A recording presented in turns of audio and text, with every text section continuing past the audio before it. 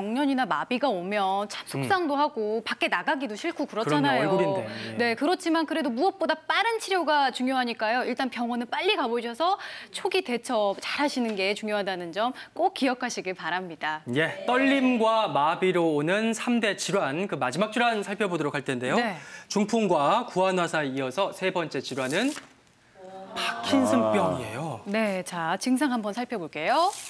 걸음이 느려지고 가만히 있어도 손이 떨릴 때 그리고 얼굴 근육이 굳어져 점점 무뚝뚝한 표정이 될 때 아, 그런데 이 파킨슨병 걸리는 분들이 요즘 좀 많이 보이더라고요 교수님. 아 그렇습니다. 이게 노인 인구가 늘어나게 되니까 당연히 늘어날 수밖에 없습니다.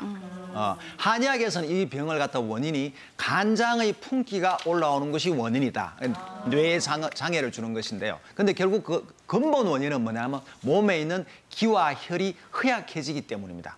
그러니까 노인층에 많을 수밖에 없습니다. 네. 그래서 노인에게 또 걸리게 되면 잘 낫지도 않는 것이 문제가 되고요. 예, 특히 보면은 기와 혈이 허약해지면 혈의 순환이 느려지죠. 그럼 피가 엉킵니다. 그게 의혈이 됩니다. 의혈이 생기면 순환을 잘 되지 못하게 하니까 이런 파킨슨 같은 것이 올 수가 있습니다.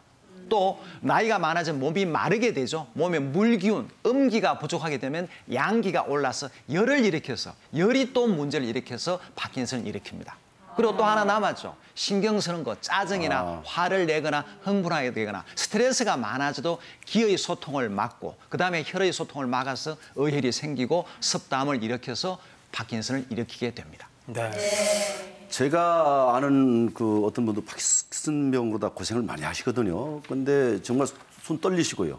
얼굴 근육이 이제 그 굳어지시고 그런 걸 모습 봤는데 왜 이런 특별한 이런 증상이 왜 나타날까요, 이게?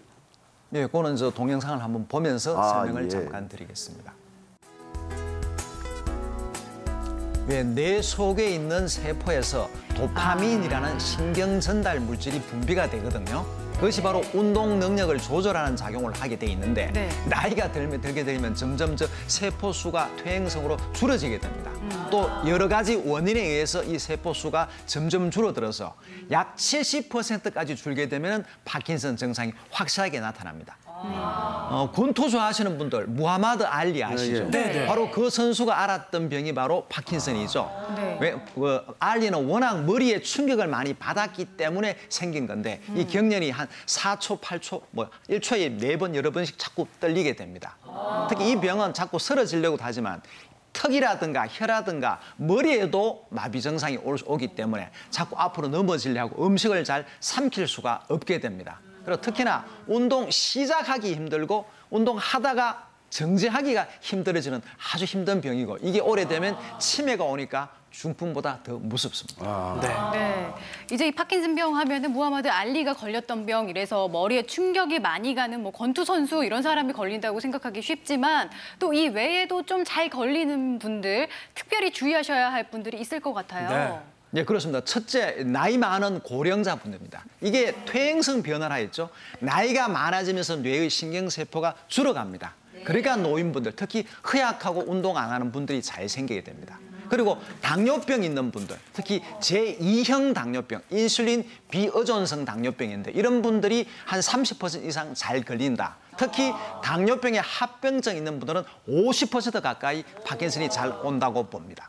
그리고 세 번째는 이 성격적으로 조용하고 남들과 잘 어울리지 않고 쉽게 말하면 재미없게 사시는 분들 취미도 없고 뭐 남들하고 어울리지도 않고 네. 재미없게 사시면은 이런 병이 잘 옵니다. 네. 그거는 치매하고도 마찬가지입니다. 어, 그리고 어, 보면은 각종 화학 약물이라든가 뭐 제초제라든가 살충제에 노출되는 분들이 잘 걸린다는 연구 보고가 있습니다.